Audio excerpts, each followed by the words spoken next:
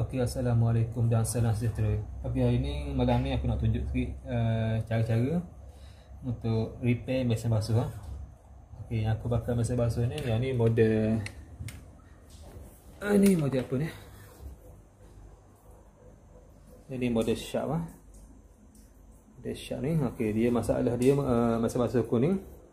Uh, dia kalau kita on uh, masa dia nak scan yang mula-mula tu yang bunyi guruk-guruk tu Okey, dia punya motor dia bergerak. Tapi bila kita nak basuh dia tak jalan, mesin jalan. Maksudnya yang dalam tu dia tak ber, dia tak berputar lah. Okey, dia masalah bila tak berputar ni.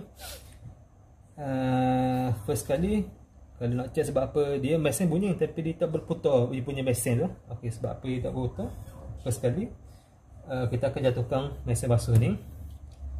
Lepas tu kita akan buka yang untuk box bawah ni. Sebab apa dia putus? Sebab apa dia tak berusing Ok, first kali. Kita akan cabut yang bawah ni. Cabut yang ni. Ok uh, Sini dia ada dua motor. Ok, sepatutnya dia akan ada satu uh, belting Belting ni dia function dia, akan Macam kereta lah, belt tu. Akan dua kalau yang bila korang tekan dia akan uh, bunyi motor tu bergerak tapi dia tak running okey maknanya dia punya bateri dia putus.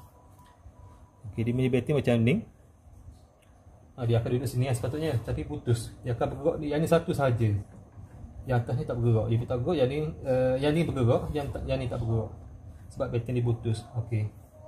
Kalau korang ada masalah macam tu uh, korang search, search je dalam pada Shopee Shopee bahasa murah je Okey, kalau ada masalah macam saya ni lah, putus. Kalau searching, searching. Kalau tarik ya, belting mesin basuh. Contoh yang ni, jenama dia. Uh, model Bano ni. M21. Yang ni nombor dia ni. Pastikan nombor yang kawan beli ni mesti sama lah. Kalau tak sama, nanti dia akan panjang ke, dia tak mesh lah. Pastikan sama. Biasanya nombor kod dia ada dekat dengan tali ni. Dekat Shopee mesti ada. Okey. Okay, macam ni sekarang ni aku dah beli dah dekat Shopee ni punya battery baru. Okey, cuma tunggu untuk pasang je lah. Okey, dah pasang ni sepatutnya dia kena cabut yang ni sebenarnya. Cabut yang ni tapi aku tak ada alat, tak ada spana. Jadi aku akan masuk menu lah. Okey, kita akan masuk lah. Masuk dia agak rumit sikit lah sebab kita tak ada alat.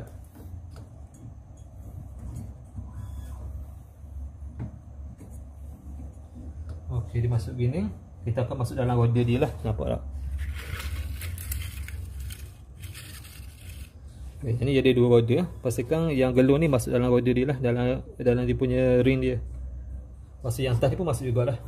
Dia dua. Yang ni masuk atas dia.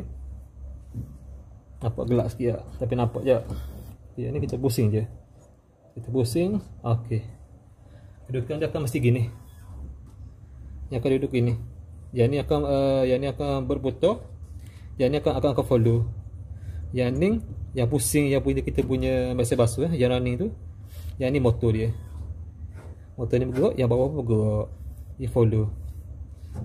Ok yang aku sekarang ni yang ni butuh cuma tukar je lah. Ok mudah saja. Kalau korang ada masalah macam ni boleh tengoklah first kali sebelum hantar kedai. Check dulu kat bawah ni. Sama ada ni bag dia putus atau tak Okey, kalau pasal lain aku tak pasti sebab aku tak perlu untuk mesin basuh. Cuma tahu pasal beg ni tahu dah. Ha, kalau kau ada situasi macam ni, kau orang try buku yang ni, kau beli dia. Sebab aku pernah hantar yang ni kali kedua dah putus ni. Yang pertama tu putus. Aku hantar pergi kedai, dia kata cakap rosak yang belakang ni rosak. Dia punya satu keping ni rosak. Dalam 300 lebih ke 200 lebih tu lah. Tak pasti tak.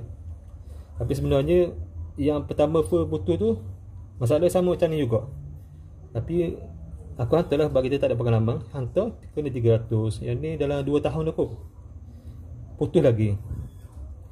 Ok bila putus lagi ni Aku Buka stri lah nak tengok apa dia punya buat salah. Rupanya bag saja putus Bag ni murah je dalam 4 ringgit 5 ringgit je. Tapi Cina tu cah aku dalam 300 Kena tipu saya saja je. Ok Ok letih sikit Ok ni kita akan pasang balik dan kita akan test eh Okay, aku stop dulu lah. Okay, mudah saja. Nanti kalau pasang, nanti dia akan jadi balik lah. Uh, jadi okey lah. Cuma ni saja masalah dia. Okey, faham tak? Battery ni mudah je. Battery ni boleh cari dalam Shopee ya. Ha. Kalau tengok yang asal ni, tengok sini dia kod dia. Jadi dia punya kod dia ni M21 belting mesin basuh. Yang ni jenama Shark lah. Kalau yang masalah ni tu aku tak erti lah. Kalau pasal sistem apa tak erti lah. Cuma tahu pasal bag ni saja lah. Okey. Itu saja. Jangan lupa like, share dan subscribe ya. Bye bye. Assalamualaikum.